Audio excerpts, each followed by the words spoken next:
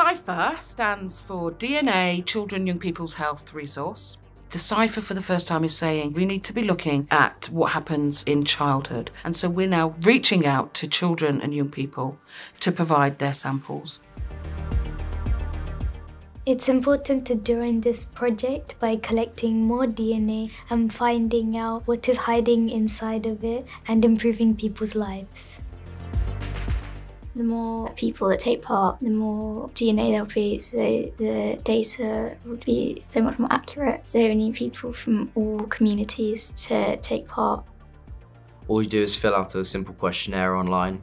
You get a test kit in the post, spit in a test tube, seal it up, send it back to the lab, and then you've helped contribute to a very important project, which is going to help immensely. It is so easy to spit in a tube, but it can be life changing for someone else. I have mental health problems in my family.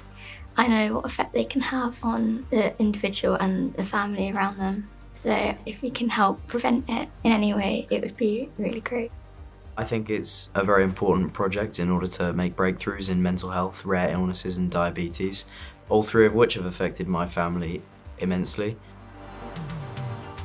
Children have the superpower to do what they can with their DNA and scientists can see and understand how disease happens. I live with a connective tissue disorder and a chronic pain condition. When I learned about the D-CYPHR project and the potential impacts that it could have on helping us find answers for these conditions we just don't know enough about, that really resonated with me.